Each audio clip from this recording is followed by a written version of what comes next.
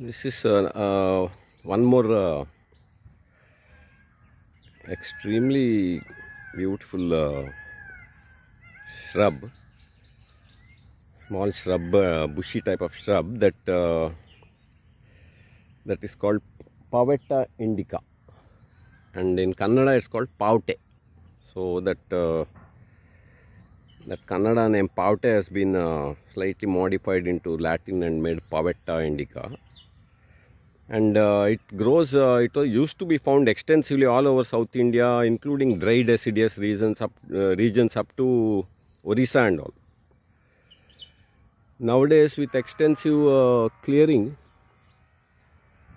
the population has become rare and uh, also people haven't taken it up in their gardens and all for some reason. This craze for exotic uh, plants is so rampant that people go on uh, planting all these foreign plants which don't support our local biodiversity and then uh, they have forgotten our own uh, beautiful species that need to be preserved and propagated. Then uh, this one is also occurs in sri lanka and uh, burma indonesia uh, this thailand southeast asia also and uh, it has some uses in folk medicine.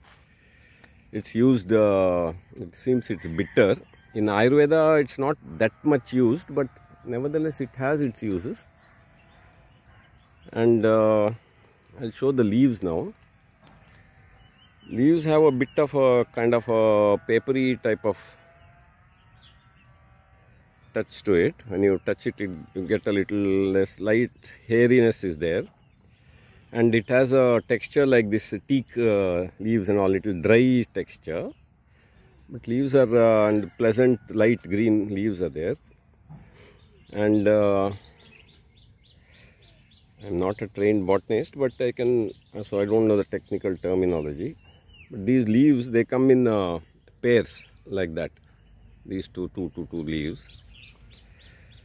Then uh, apart from that it's uh, it attracts lot of bu- butterflies. Uh, one is it's a host uh, plant for uh, some of our indian uh, beautiful indian butterflies these uh, those larvae eat these leaves. Then also this it, this pavetta produces plenty of nectar. And uh, so these these butterflies uh, they like to hang around this plant and get all the nectar. So this is a butterfly friendly species. Then uh, it's long lived so once you plant it it will live for a long long time.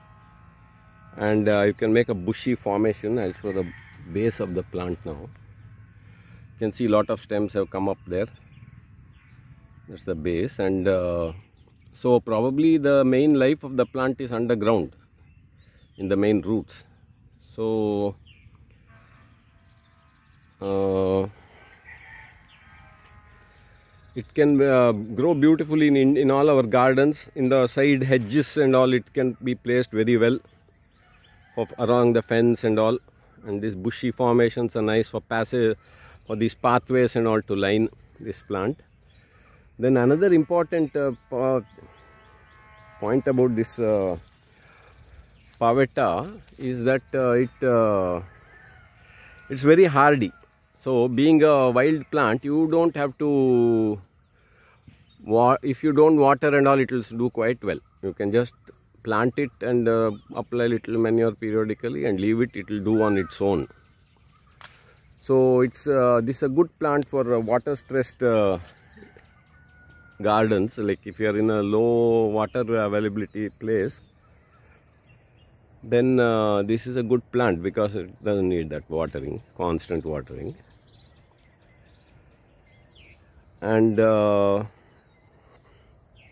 then apart from that uh, it flowers in the peak of the summer like uh, now it is may Mm, In Sanskrit, it is called uh, kakachidi. Kakachidi.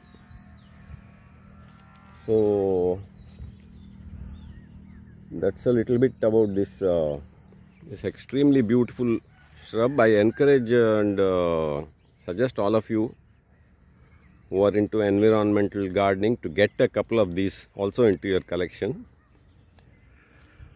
and uh, provide some food for our butterflies apart from enjoying the beauty of this absolutely stunning uh, plant